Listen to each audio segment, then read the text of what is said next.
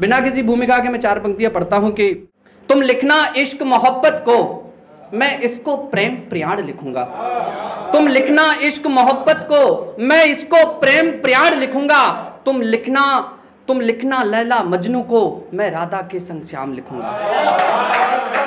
तुम लिखना इश्क मोहब्बत को, मैं इसको प्रेम प्रयाण लिखूँगा। तुम करना ज़िक्र जुदाई को तुम करना ज़िक्र जुदाई का, मैं इसको ब्रह का बाण लिखूँगा। तुम लिखना लैला मजनू को, मैं राधा के संग श्याम लिखूँगा। और तुम लिखना भौतिक दुनिया को, मैं तो गीता का ज्ञान।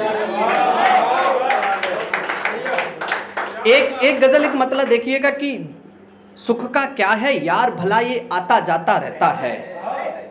सुख का क्या है, यार भला ये आता जाता रहता है। दुख तो अपना साथी है, ये साथ निभाता रहता है। दुख तो अपना साथी है, ये साथ निभाता रहता है। भटके अर्जुन को समझाने गीता ज्ञान सुनाया था। दादा, आपकी उपस्थिति को प्रणाम। भटके अर्जुन को, भटके अर्जुन को समझाने गीता ज्ञान सुनाया था। वक्त रहे, ये तुम भी समझो, वो ये समझाता रहता है। वक्त रहे ये, तुम भी समझो। वो ये समझाता रहता है। और प्रेम की बात हो रही थी भगवान कृष्ण। मैं बड़ा सौभाग्यशाली हूँ। मैं लड्डू गोपाल जी की सेवा करता हूँ। मेरे लिए तो प्रतिदिन उत्सव होता है उनका जन्मदिन। जैसे आप लोग शायद कुछ लोग जन्माष्टमी मनाते हैं तो प्रतिदिन उनको स्नान कराना, भोजन कराना मेरी दैनिक दिनचर्या का एक हिस्सा है। तो वहीं से एक पंक्ति है कि प्रेम की खातिर ग्वाला बनकर रख अदरों पे बंसी को। आदित्य, प्रेम की खातिर ग्वाला बनकर रकदरों पे बंसी को चक्र चलाने वाला काना राग बजाता रहता है।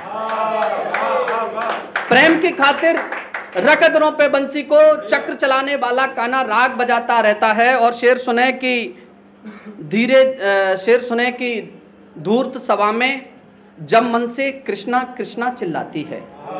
यहाँ एक कृष्णा द्रौपदी के लिए, एक कृष्ण के लिए।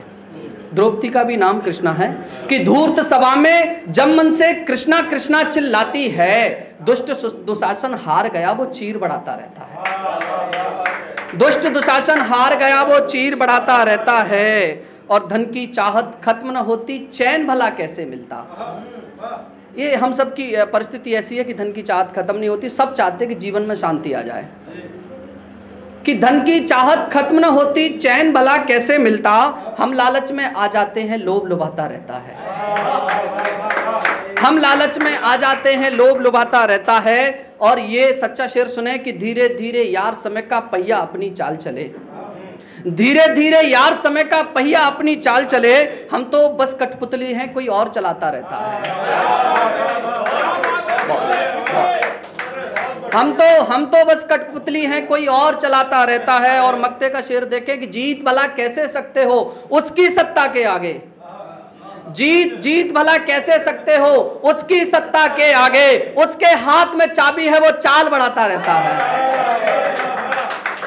उसके हाथ में चाबी है, वो चाल बढ़ाता रहता है।